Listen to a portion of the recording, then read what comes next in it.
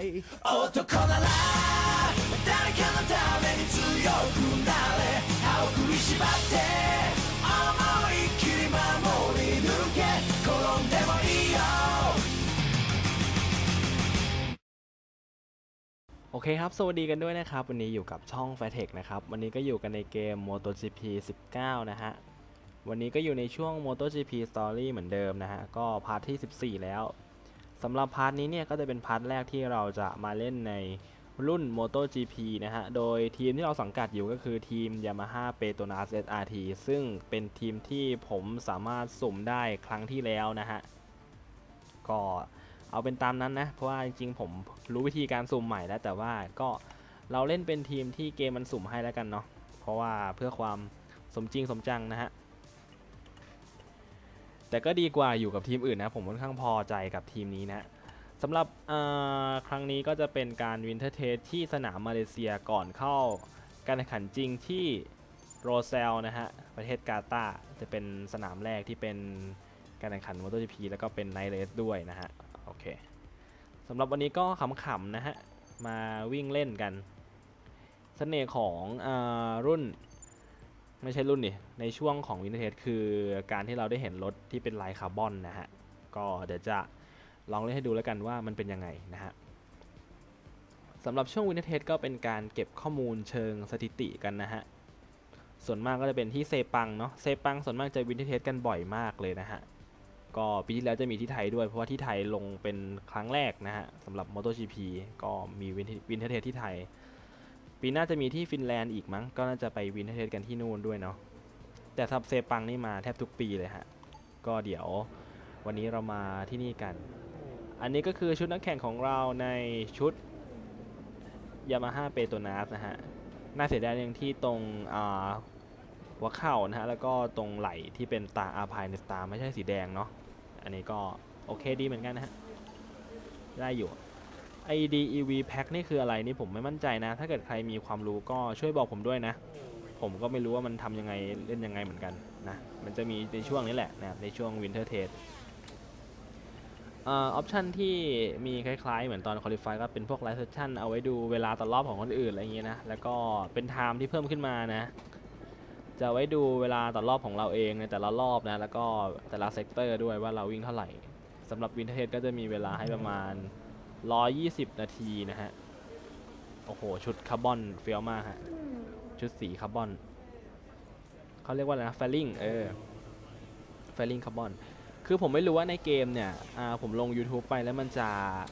เห็นไหมนะ แต่คือเนี่ยผมเห็นเป็นลายคาร์บอนค่อนข้างสวยงามเลย มองจากเกมจริงๆอะฮะ ก็เป็นรถยามาฮ่าฮะ อย่างน้อยก็เป็นทีมที่ค่อนข้างโอเคนะ ในรุ่นใหญ่นะฮะ ดีกว่าไปอยู่กับ อย่าง KTM อย่าง a p ิเลียนะ ผมคิดว่า แต่มันก็เป็นทีมรองฮะ พูดอะไรมากไม่ได้ แต่ว่าผมลอง test ไปแล้วเนี่ย ผมรู้สึกว่ารถในช่วง winter test เนี่ย กับรถช่วงที่เราไปเล่นใน quick mode เป็นทีมเดียวกันก็จริง แต่ว่ารถใน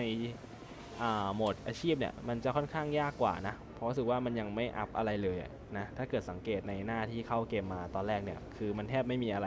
ไม่มีอะไรเลย ไม่มีแต้มอะไรเลย ไม่มีหลอดอะไรอัพเลยอะฮะ สำหรับความยากที่ผมจะเล่นก็จะเป็น 80%เหมือนเดิมนะ ระดับ hard 80 โอเค เดี๋ยวเราลองวิ่งดูแล้วกันนะ ตั้งค่าก็เหมือนเดิมฮะ ผมรู้สึกว่ามันเล่นยากกว่า เล่นยากกว่ารถที่อยู่ในควิกโหมดนะ อันนี้ไม่รู้ว่าเพราะอะไร น่าจะเป็นที่รถแหละ ในควิกโหมดเขาน่าจะอัพมาเต็มแล้วมั้ง ไอรถที่เขาเอาไว้ให้เล่นในควิกโหมดอะ อันนี้ผมไม่มั่นใจนะ ขออภัยนะที่ลงคลิปช้านะช่วงนี้ เป็นช่วงที่ครอบครัวได้เจอกันเนาะเพราะว่าน้องก็ปิดเทอมก็มีเวลาอยู่กับผมมากขึ้น แล้วก็พี่สาวก็เพิ่งกลับมาจากมหาลัยนะฮะปกติจะไปนอนอยู่หอนะฮะก็มีเวลาอยู่ด้วยกันมากขึ้น ก็จะใช้เวลาร่วมกันนะตอนนี้เราก็หนีมาอัดเกมดึกๆนะฮะปกติจะอัดกลางวันนะก็อาจจะดูเสียงง่วงๆนิดนึงนะฮะตอนนี้ช่วงนี้อัดดึกบ่อยfinish test ก็เป็นการหยุดนะ หยุดการหยุดการทดสอบนะฮะเป็นการ skip เวลาเผื่อแบบเราไม่อยากเล่นแล้วเนาะเพราะว่ามันให้เวลามาเยอะพอสมควรเลยโอเคเดี๋ยวเราลองดูฮะแต่ผมรู้สึกว่ารถขี่ยากกว่ารถที่อยู่ใน quick mode น่าจะต้องให้เราเล่นอัพรถไปเรื่อยๆเนาะ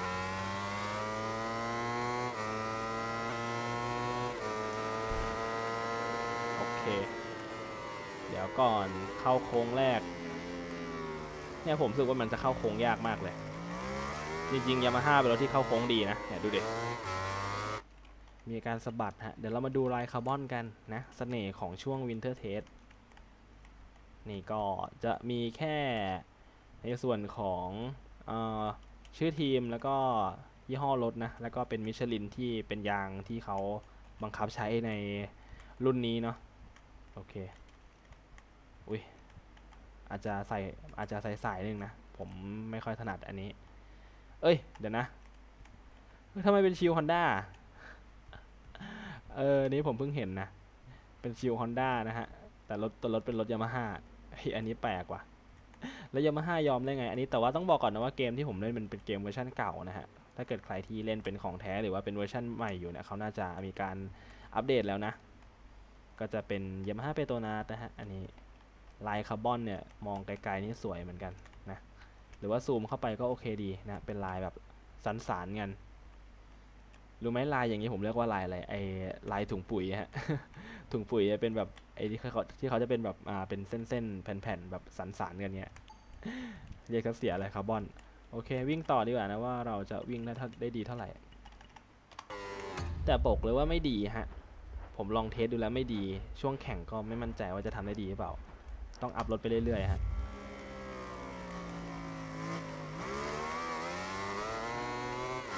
เดี๋ยวลองวิ่งดูแล้วกันนะฮะ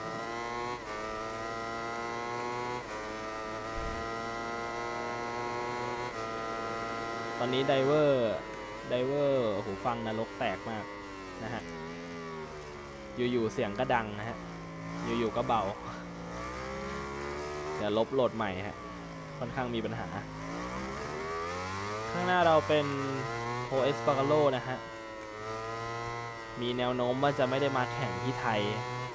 เนื่องจากอาการบาดเจ็บนะฮะ ที่ข้อมือมันเป็นจุดที่ค่อนข้าง sensitive นะฮะ สุดท้ายเราก็ต้องมาอยู่กับสังกัดเก่าเรานะฮะ คืนสู่เหย้ายามาฮ่าเปโตรนาสไม่ใช่ยามาฮ่าต้องเป็นเปโตรนาสอย่างเดียวนะเพราะว่าตอนอยู่กับ Moto3เนี่ยเราไปอยู่กับเปโตรนาสพอขึ้นมารุ่นใหญ่ก็ยังอยู่กับเปโตรนาสอยู่นะ แต่ว่ารุ่นกลางไม่ได้อยู่นะฮะแต่เปโตนัสต้องเป็นทีมที่เรียกว่ามีครบทั้ง 3 รุ่นเลยนะฮะทั้ง Moto3 Moto2 แล้วก็ MotoGP นะแต่อยู่กับ Moto2 ก็ดีนะ เพราะว่าอ่า Moto2 เนี่ยเขามีแค่คนเดียวเราไปอยู่ก็เป็นทีมเมทกับเขาเนาะ Moto2 เนี่ยเราได้ 2 ทีมเลยนะเป็น Federal แล้วก็เป็นอ่าอะไรนะไดนาโวนะฮะ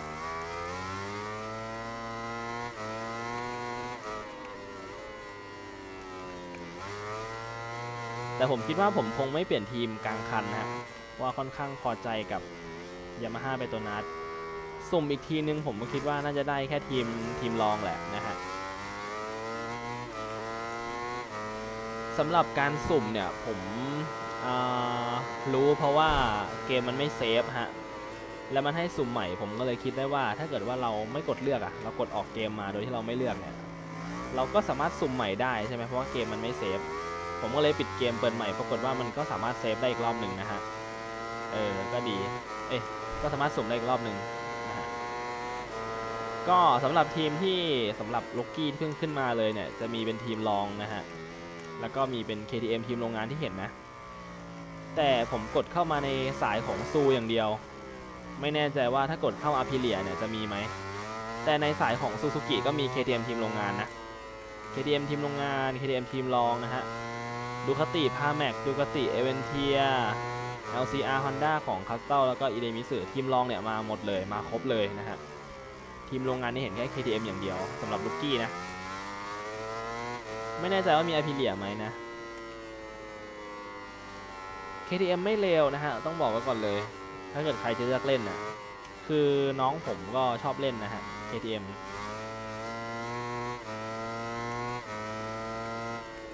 ในเกมฮะ ก็ถือว่าโอเค ชีวิตจริงตอนนี้ก็ค่อนข้างที่จะเข้าสถานการณ์ยากลำบากฮะโยฮันน์ ซาร์โก้ก็ไม่เอาแล้วนะฮะ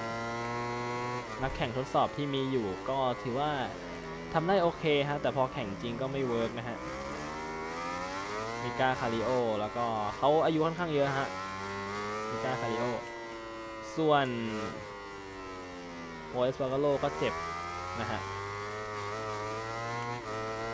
นักแข่งทีมทีมรองก็ไม่ไม่ไม่ค่อยโอเคฮาฟิซ ชาห์รินปีหน้าเขาก็ไม่ได้อยู่แล้วเนาะเขาก็คงไม่ไม่ได้แบบ อะไรมากมายแล้ว ส่วนโอลิเวียร่าก็เริ่มดีขึ้นฮะ มีแววดูดีสุดเลย ปีหน้าเนี่ยจะเป็นแบรดบินเดอร์ที่ย้ายเข้ามาแทนฮาฟิซ ชาห์รินนะฮะ แต่ฮาฟิซ ชาห์รินเนี่ย การขึ้นมาขี่ MotoGP ของเขาเนี่ยก็เหมือนแบบโชคช่วยด้วยหน่อยหนึ่งนะ เพราะว่าตัวเขาเองเนี่ย มาแทนเยลนาร์ดโฟกเกอร์นะฮะ ที่บาดเจ็บ ไม่ใช่บาดเจ็บดิต้องเป็นอาอาการป่วยนะ แต่ตอนนี้โยนาส โฟลเกอร์ก็มา test รถให้กับยามาฮ่าอยู่นะตอนนี้เป็น test rider ให้กับยามาฮ่าปีหน้าเขาว่าจะลงเป็น Moto2นะ เพราะว่าได้มีการทดสอบให้กับ Moto2ไปแล้วเหมือนกัน ก็ยังอยากยังอยากกลับเข้ามาขี่ต่อเหมือนนะสำหรับโยนาร์ดโฟกเกอร์ คือฟอร์มดีจัดเลยอะถ้าเกิดใครดูสนามเยอรมันปี 17 นะฮะสำหรับโยนาสโฟกเกอร์ ขี่โมโต GP ได้ปีเดียวนะฮะ ไม่ถึงปีด้วยประมาณครึ่งปีนะฮะ แล้วก็ป่วยไปก่อน ค่อนข้างเสียดายฮะ มันตัดโอกาสหลาย ๆ อย่างกับเขาเลยนะ แต่อย่างน้อยเขาก็หายดีแล้วก็สู้ต่อนะฮะ กลับเข้ามา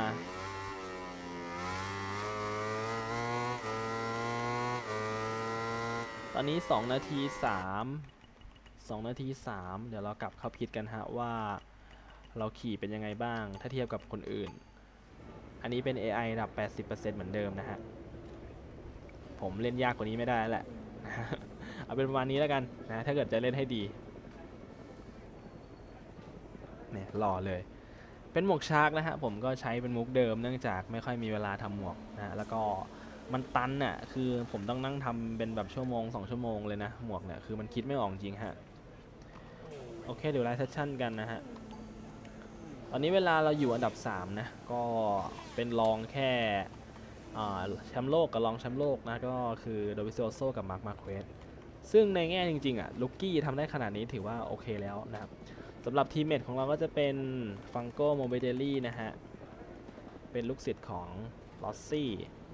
คนนี้เนี่ยก็เพิ่งมาขี่ยามาฮ่าปีนี้ได้ปีแรกเหมือนกันเนาะ ปีที่แล้วจะขี่เป็นรถฮอนด้านะฮะแต่ว่าไม่ใช่ rookie เพราะเขาขึ้นมาปีที่แล้ว อีกคนหนึ่งก็คือฟาบิโอ กวาร์ตาราโรเนาะสองนาทีหกนะตอนนี้ฟอร์มยังไม่มานะเพราะว่าเกมเวอร์ชันผมตอนที่มันลงมาเนี่ยเขายังไม่ได้อัปเดตฟาบิโอมาเพราะเดี๋ยวนี้เพราะตอนนั้นฟาบิโอฟอร์มยังไม่มานะฮะฟาบิโอเนี่ยฟอร์มมาครั้งแรกที่เราเห็นเลยก็คืออะที่เฆเรซนะฮะที่ออก pole ได้ ลายคาร์บอนฮะ เห็นเป็นผมไหมอะทำไมโลโก้มันเป็นฮอนด้าครับตรงชิวหน้า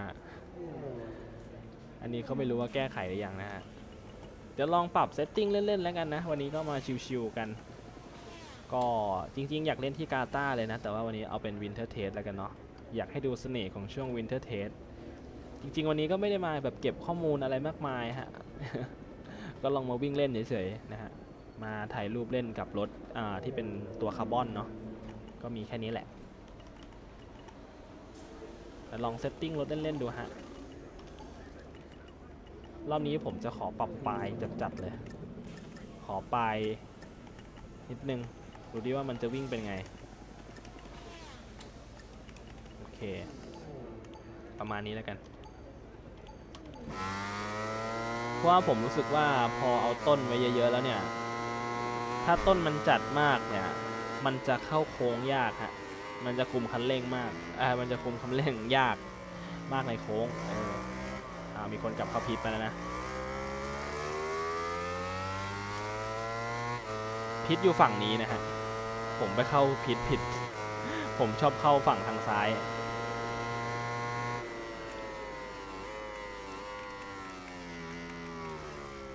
หมวกอันนี้ก็ได้รับแรงบันดาลใจมาจาก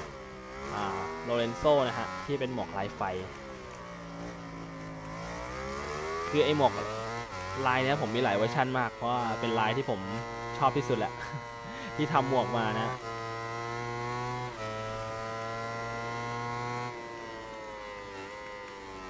อันนี้ก็ได้รู้แล้วนะว่าอยู่ทีมใหญ่ไออยู่รุ่นใหญ่เนี่ยจะได้อยู่กับทีมอะไรนะก็เป็นยามาฮ่าเปโตนัสซึ่งค่อนข้างพึงพอใจมาก ๆ เลย คือผมจะสุ่มใหม่ก็ได้นะ เป็นฮอนด้าหรือว่าเป็นดูคาติก็ได้นะฮะ แต่ผมก็ชอบเป็นยามาฮ่าอยู่ดีนะฮะ ชอบเป็นสายเรียง สายสูบเรียงนะฮะผม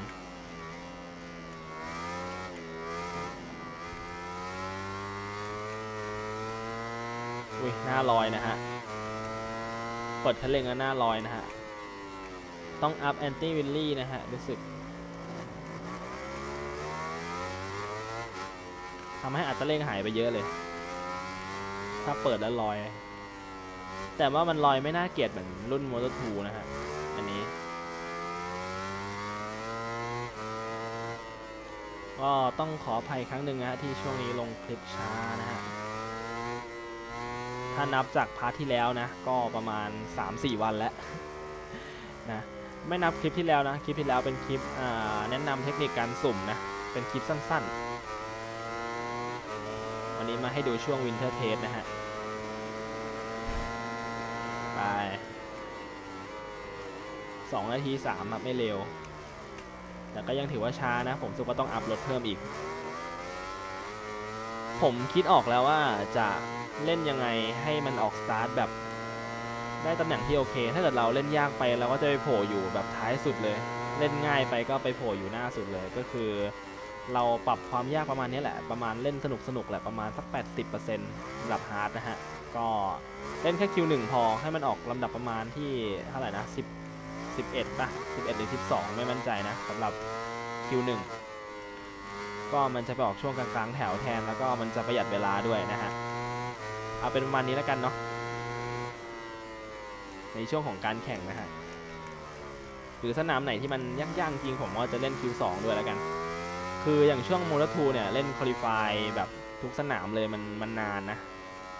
คือช่วงโม t ทีคือเราไม่ qualify แล้วแล้วเราเล่นครบทุกสนามด้วยนะอันนั้นก็คือแบบแป๊บเดียวเองนะฮะ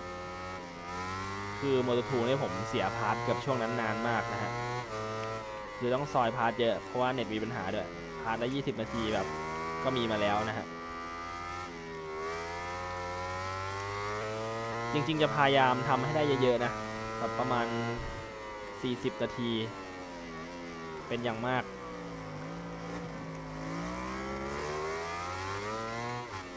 วิ่งทดสอบดูหน่อย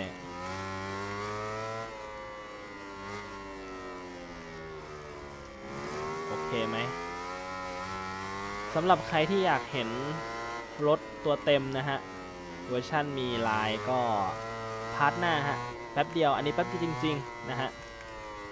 คือแต่ผมต้องตบปากตัวเองแรงสักทีหนึ่งที่บอกว่าจะไม่ปล่อยให้รอนาน ใน part ที่แล้ว นานพอสมควรเลยนะฮะ ต้องขออภัยจริงๆ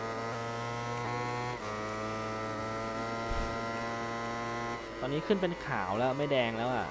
ไม่รู้ว่าทำเวลาได้เท่าไหร่เซปัง International Circuit รู้สึกว่าพี่โบ๊ทแกไปเทสยางนะฮะ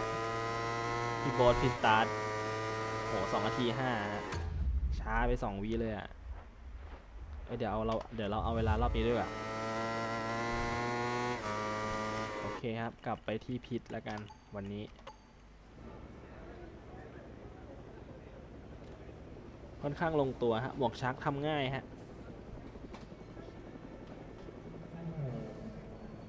หมวกโชเอจะแบบ ทรงผมว่ามันไม่ค่อยเหมือนของจริงเท่าไหร่อะหมวกโชเอะในเกมอะเห็นตรงนี้กะ Honda ติดอยู่ที่ชิวรถ Yamaha M1 แบบโคตรเสียอะคือมันก็ไม่ได้ bug เป็นรถ Honda นะฮะ อันนี้แบบทำไมก็ไม่รู้ ถ้า bug เป็น shield หน้าของของ Honda แล้วแบบเป็นทรงของชิวหน้า Honda มา bug ในรถ Yamaha ยังเพราะว่าอันนี้คือเป็นแบบติดสติกเกอร์ Honda เลยอะแย่อะแย่อย่างงี้ไม่ดี ดู time กันบ้างนะว่าเวลาเท่าไหร่ เราวิ่งไป 4 รอบนะฮะ เวลาที่ดีที่สุดจะอยู่ในรอบที่ไหนวะ มันไม่บอกเวลารวมอะ อ๋อ นี่ไง sectorสุดท้าย หลังจาก sector สุดท้าย รอบแรกก็ทำเวลา 2 นาที 3 แล้วก็ทำเวลามากขึ้นเรื่อยๆนะฮะ รอบที่ 2 เป็น 2 นาที 4.5 รอบที่ 3 เป็น 2 นาที 4.9 นะ แล้วก็รอบที่ 4 เป็น 2 นาที 4.5 ไอ้2นาที 5.3 ทำไมทำเวลามากขึ้นเรื่อยๆวะทำไมรอบแรกวิ่งดีสุดเนี่ยมี Lenovo ด้วย เนี่ย ชัดเจนเลยฮะ Honda นี่ก็จะได้เห็นอะไรแบบแปลกๆ อันนี้ก็แปลกเกินนะฮะ โอเค เดี๋ยวผมขอลองแบบสมาธิกดเวลาแล้วกันนะ ว่าเราจะทำได้เวลา เราทำเวลาแล้วเท่าไหร่ ออภัยฮะ ลิ้นพันกัน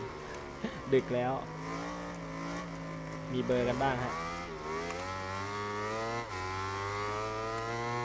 หรือว่าเป็นที่ setting เกียร์ก็ไม่รู้นะ เพราะว่าเราวิ่งรอบแรกแล้วเราก็กลับมาเซตเกียร์ใหม่ทำให้เวทำให้เวลามันแบบมากขึ้นนะฮะ ซึ่งไม่เป็นผลดีเท่าไหร่ เราต้องแบบหา setting เยอะๆ ว่าแบบไหนโอเคสำหรับสนามนี้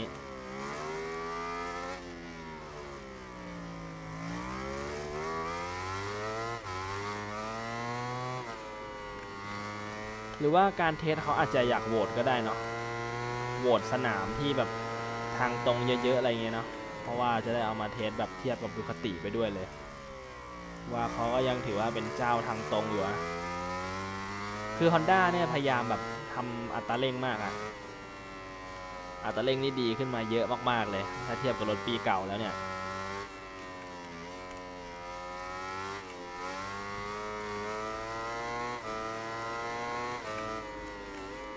มิชลินนะฮะ เป็นสปอนเซอร์ที่นี่ด้วย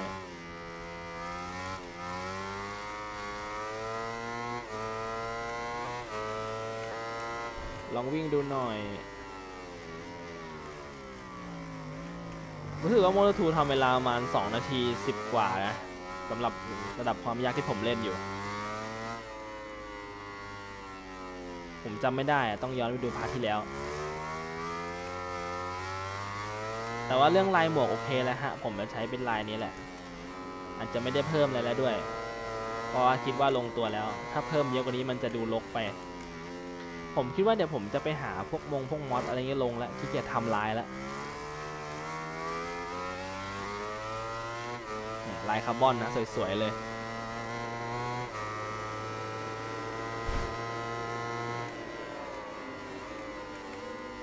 ดูดูรอบนี้ฮะ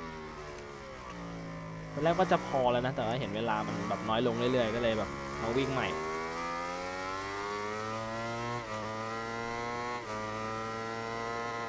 สองนาทีสี่ฮะ ก็ยังไม่เร็วเท่ารอบแรกอยู่ดี ไม่ใช่เวลาน้อยลงเรื่อยๆ เวลามากขึ้นเรื่อยๆ ก็เลยมาวิ่งใหม่นะฮะจะลองดูกลับไปที่พิษใหม่นะฮะ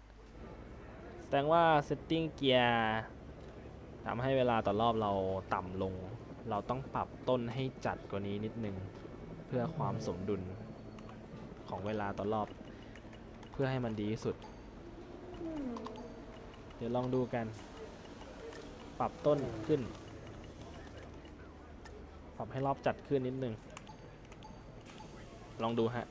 โชคเนี่ยว่าโอเคแล้วนะฮะ ปรับเป็นเหมือนเดิมแหละ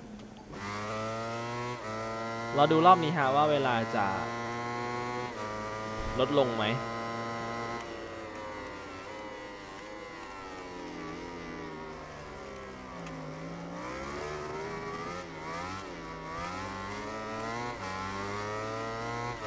จาก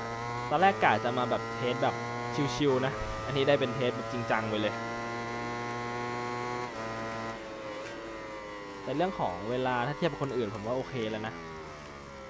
แต่ผมคาใจไง คือเวลามันเพิ่มขึ้นเรื่อยๆ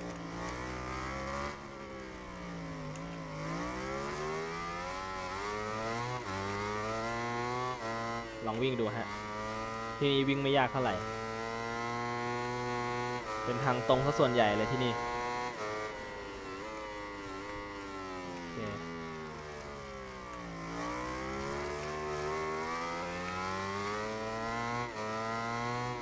ยามาฮ่านี่ไม่เคยมีทีมรองเยอะกว่า 2 เลยนะฮะ เอ๊ะ ไม่มีทีมรองเยอะกว่า 1 เลยนะ มีแค่ทีมเดียวนะฮะ ทีมรอง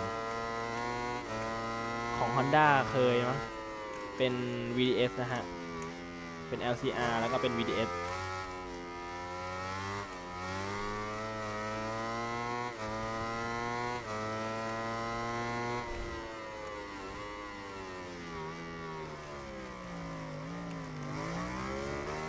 ลองวิ่งดูฮะโมตุนสตูดิโอตามมาหลอกหลอนอีกแล้ว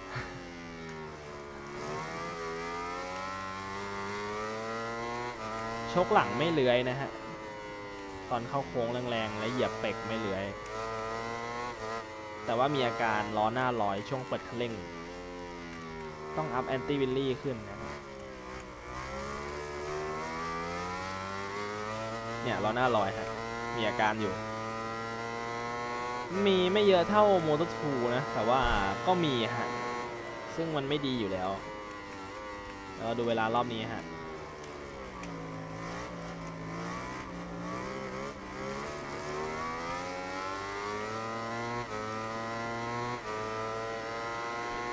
โอ้สอง นาทีสี่ฮะ โอเคแหละสองนาทีสามรอบนั้นถือว่าฟลุกแล้วกันทำได้ดีเนี่ย จะอยู่ประมาณสองนาทีสี่เกือบห้านะ เออ ซึ่งถ้าเทียบคนอื่นก็น่าจะเยอะแหละ น่าจะพอใจแล้วนะ กลับ pit นะฮะ นี่ฮะ winter test ก็เดี๋ยวผมจะขอจบไว้ประมาณนี้แล้วกันนะฮะ เดี๋ยวจะถ่ายรูปเล่นสักพักหนึ่ง แล้วก็จะจบช่วง test แล้ว part ต่อไปนะก็จะเป็นการเล่นที่สนาม Losail นะฮะกาตาร์เดี๋ยวผมไปดูรถเวอร์ชั่นที่มีลายก่อนว่ามันยังมีไอ้โลโก้ Honda อยู่ที่ชิวไหม มันมีอะไรแปลกๆอย่างนี้มาให้ดูฮะ เออ มันมันไม่ได้อะมันเสียศักดิ์ศรีมากเลยเนี่ยอย่างเงี้ย มาแปะกันข้างหน้าเลยนะ ก็ก็เกินไปบางทีก็นะฮะ โอเค เป็นประมาณนี้แล้วกันนะครับ โอเคครับสำหรับคลิปนี้ก็ ประมาณนี้ฮะ โอเคครับ สวัสดีครับ ไปแล้ว